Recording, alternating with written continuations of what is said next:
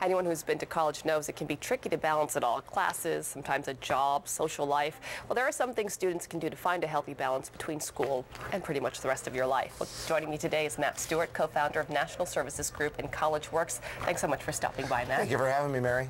Um, what is it that new college students need to do when it comes to finding that balance? Well, I think uh, college students, it's, it's, a real shame you come to college, you've just been through high school, and now it's four more years of school, and you're thinking, oh, I get to relax. But really, college is the time to not relax. Mm-hmm. College is the starting line, not the finish line. So it's really about treating, treating college like it's your job and getting ready for your life after college. The first step, very important. You say it's important to set goals. Yeah, um, Muhammad Ali said, my goals are my drive and why I succeed. And everyone in history that's successful is goal oriented. So it's about setting goals, but then about having an action plan towards the goals. And college students can set goals around grades. They can set goals around getting a job, money. They can set goals around having time with their friends. And they just need to write it down and think about it. You know, a lot of students want to go with the flow. And that can kind of get you in trouble if you really don't have any sort of structure at all. Something easy that you mentioned that we need to do, students need to do, is set up a monthly calendar. Right. Well, everybody needs to do it. Um, college students, I, I, get a lot of requests now for training on time management. It's probably number one. We get a lot of hits on our website, collegeworks.com, around time management, and they just don't know about time management.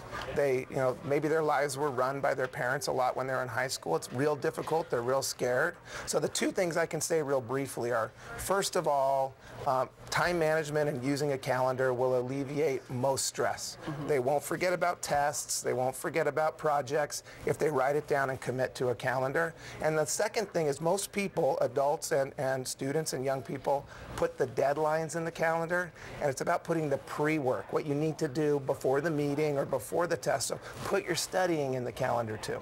You know, it's so important to do it, and yet it's so simple, but so many students don't do that. Yeah, yeah, it's simple. And I, I fly all over the country speaking on time management for an hour, and it's baffling to me, but they don't know, and they, they really need the help. A lot of college students know that you know, you should look for business experience while you're in mm-hmm. school. You say look for practical business experience. What do you mean by that?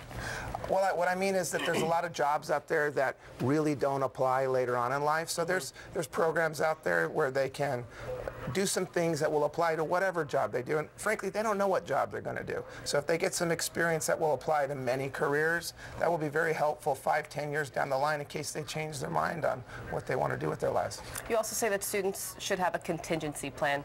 Talk about that. Well, that, that's what I'm talking about. You're 18 years old, you're 19 years old. They say pick a major. How do you pick a major? They say pick a career. How do you pick a career? And, and people say that this generation of college students will change their career six times, not their job, but they'll go from newscasting to being a lawyer to being a doctor. So I think it's important that they do things like broad-based internships and take a few classes outside their major so they're prepared for whatever career pops up, in addition to having a rainy day fund and, and having someone cover their shifts, all the normal contingency plans, mm-hmm. in addition to that long-term contingency planning. Have fun, but have a plan. Exactly. Matt, thank you so much for stopping thank by. So Very much, important stuff. For more information, go to our website, KOMOnews.com, and click on KOMO 4 TV.